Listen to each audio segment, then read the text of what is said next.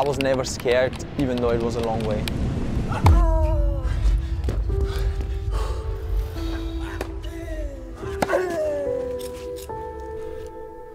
This is Dominic Thiem, and this is what I've learned. Not done yet. Dominic Thiem who continues his return, his recovery.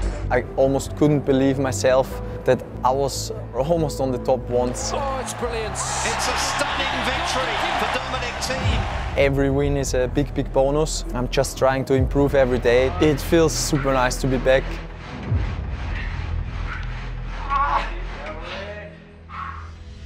It was, was really tough five, six months, but I think also in a way a good experience. The most I missed about competing is the winning feeling, obviously. He's done it. What a victory for Dominic Thiem. To win a match, to have this, this great feeling. Superb season he's having. The comeback in general was very tough. I ruptured my wrist uh, twice. He sprained his wrist, I think. That's a great shame. You wouldn't wish it on anyone, let alone a really good guy like Dominic. It was my first experience with a big injury like that and it took way longer than I expected. From the moment I started to hit the tennis ball again, this was the toughest period because uh, obviously before this wrist injury almost never had any issues with my body so I could do whatever I wanted. I was not that confident with my wrist, uh, maybe slightly changed my technique and that's why the hand started to, to hurt.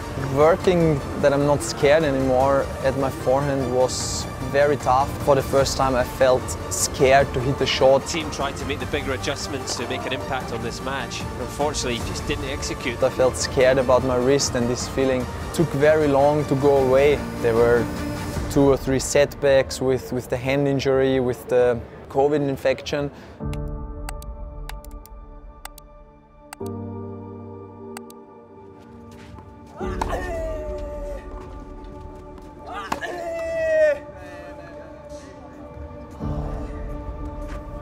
It was, was really tough uh, five, six months, but I think also in a way a good experience.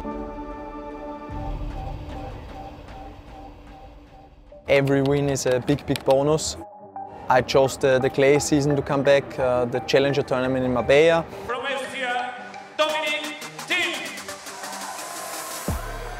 Everything went fine and then I got uh, COVID as well for, for the first time. This was just a small setback because I guess at one point everybody gets it. Since I'm healed from COVID, it went in a really good direction with finally the first ATP match in, in Belgrade. A hugely encouraging performance from Dominic Thiem. I don't know if, uh, if when you get 100% fit, I'm going to struggle, but uh, great to see you back. You're champion. You're champion. On court, I want to play as many matches as possible, but every win is a big, big bonus. I'm just trying to improve every day, and the first short-term goal is to, to be in a decent shape in, in the French Open.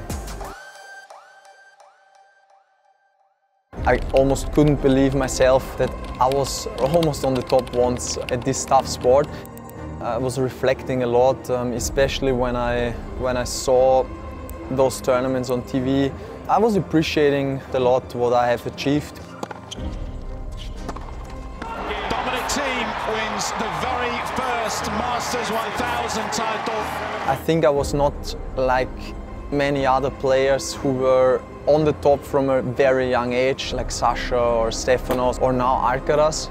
It took me a little bit longer. I came in the top 10 only with 22 and a half years or something, so I never believed that I could achieve that when I was 19, 20, to, to be in the top 10, to win Masters titles, to win a Grand Slam title. I was appreciating it a lot. It's brilliant. I almost couldn't believe myself that I was almost on the top once at this tough sport. Rafael Nadal is defeated. It's a stunning victory for Dominic Thiem. I was never scared, even though it was a long way. Oh yes, that's a Dominic Thiem special. Not done yet. You have to work way harder for, for the special moments to come because coming to, to ATP tournament was so special and uh, was like you have so much success. You, winning one set or winning one match is like such a huge, huge success and once uh, you are on the top or once you were there, the standards are so high. What a performance. The pride of Austria. I definitely have a, a different perspective on life and, and, tennis now. I think the biggest difference uh, from now and, and 10 years ago is, is my experience.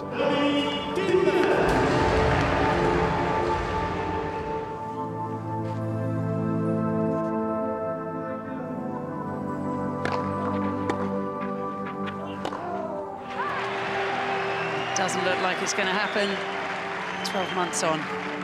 I definitely have a, a different perspective on life and, and, tennis now. That changed, I guess, in the last five years or something. Before that, it was only tennis. It was focusing on, on, on getting better, practicing, uh, eating and sleeping, and that was it. For me, I want to make life on, on our planet a little bit better with, with the way I have the influence, with the way I have a lot of fans, and I try to, to use that for for doing good things and um, I think it's important if you, if you get older and older and more experienced to not only be a tennis player but also to, to try and do good stuff. Play for the ocean, win for the ocean. I'm super happy to, to see all the people. They all gave me a, a great welcome. I, I have the feeling that most of the players, they were really happy to see me.